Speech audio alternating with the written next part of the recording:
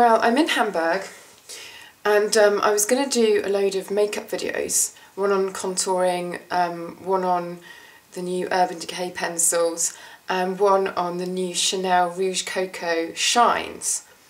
Um, but as you can probably tell, there's a massive echo in here. This is my, well, you call it a hotel, but it's pretty basic.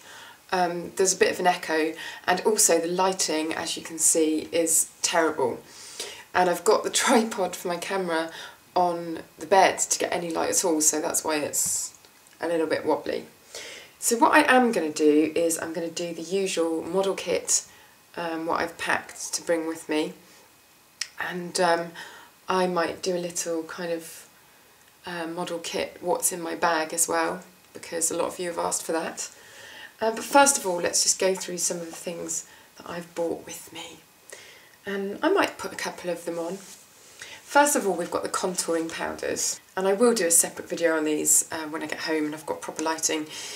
This is one I use a lot, it's the Avon Earth and Rose. It's really nice, very inexpensive. We've got NARS Little Darling, that's more pinky peachier than, than the Earth and Rose. That's quite, it's kind of like a pale bronzer really, the other one I suppose. Um, another one that I'm absolutely adoring at the moment, which is um, a blusher by Estee Lauder, and that's shade 19 Nude. And then two really nice creamy ones, because you can also use cream blush to contour. This is Urban Decay in Indecent. Um, that's not actually released yet, but it will be in a couple of weeks' time. And this is a lip and cheek tint by Becca in Blossom. That's kind of a lot glossier and creamier than the Urban Decay. So I'm just going to pop a bit of the Earth and Rose on. Just underneath the cheekbone there and to the sides of the temples. That's just a really quick way of giving your face a bit of structure. And you should work with your natural shape anyway. Um, you know, don't just go putting stripes down your face and hoping that it will work because invariably it won't. So yes, I bought all of those things through security um, and got pulled over and asked why I had so many powders and liquids and things like that. And now I'm probably not even going to use them. Number seven, Beautifully Matte Foundation. Absolutely love it. Estee Lauder Disappear Concealer, my new favourite. Brushes that I was going to use for the contouring video from number seven. Um, the Black Board by Orly, which is a really um, gritty kind of nail file, it files them down really fast. It's probably not the best thing for your nails, but I like it because it's quick. Um, a Knackered Cow Relaxing Body Lotion from Cowshed. A nail polish remover from Deborah Lippmann. This is Stripper to go and it's like a little lavender mitt and you put it over your finger and take the rest of your nail varnish off. It's really, really nice. I've used that before hair products because I'm shooting tomorrow and obviously my hair's got to be clean. I'm here for three days actually and I've done a shoot already, a cover shoot. Um, so I'm shooting my big job tomorrow which is a campaign for a beauty company and so I've got to look tip top.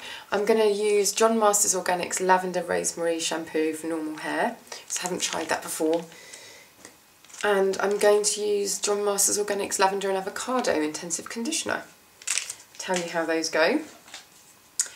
Dove deodorant, boring. I mean, it's not boring, I use it every day, but it's boring for you. Um, this mask, which is a soothing and calming mask by Alpha H, um, which I've been meaning to use for a while, because uh, I think this would be quite good for after I've been shooting and had a lot of makeup put on and taken off. So um, I'm interested to know how that is, because I really like their products. Paracetamol, haven't needed those, thank goodness. This is a new um, eye cream launch from Bliss Spa and it's the Fabulous Everyday Eye Cream. Now I have always used the All Around Eye Cream and um, this is basically its successor. So they're taking away the um, All Around Eye Cream and this is the Everyday Eye Cream.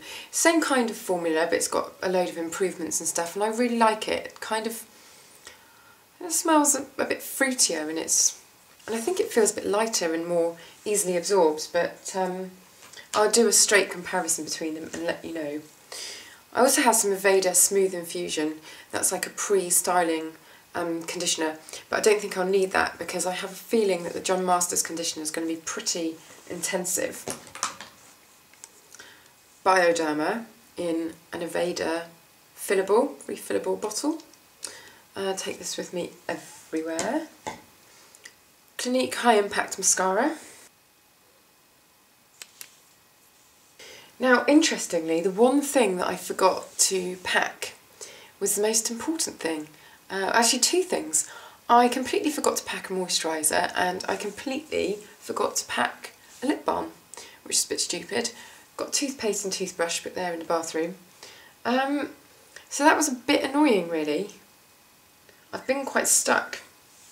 So I had to go out today um, and find a shop that was open. Everything closes in Hamburg on a Sunday but the shops in the central station were open.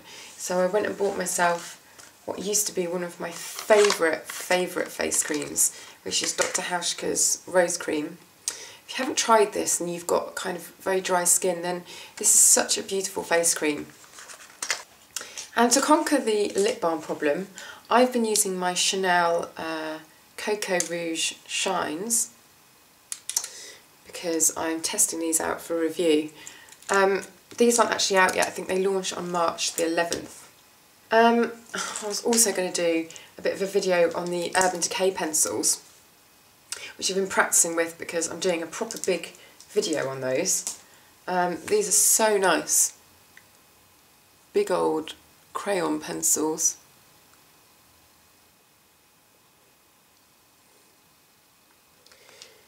That are quite blendable when you first put them on. But then just like the Urban Decay eyeliners, they uh, set completely fast and you you then can't kind of smudge them or move them and they stay on for the whole entire day. That might have been Midnight Cowboy that I just put on. And now I'm just whacking on um, a darker shade, this is called Rehab, and I'm using the new Urban Decay blender brush just to blend that darker shade out into the original colour. I apologise, it's not um, Midnight Cowboy, it's Sin. It's going to do a bit of liner in Bourbon. So yes, quite an exciting launch really, that one. Um, I'm just going to show you as well this blush by RMK. This is the new Spring Summer collection. This is blush number three in Rose. It's also in another video, but I just really like it. So I brought it with me. But as it happens, I haven't really had a chance to wear any makeup because it's just been absolutely tipping it down with rain. So today I didn't really want to go anywhere. And so I've kind of went to the station, got my moisturiser and came straight back. So no one to really see my makeup. Um, I've just spotted this. It's my Flow um, perfume dispenser. It's got Chanel Mademoiselle in it, Coco Mademoiselle, and sachet of L'Oreal LV, bizarrely. I don't know where that came from. That made it through security checks without even being in my clear plastic security bag. Interesting. Earplugs. And that's it. Um, so that's what was in my model kit.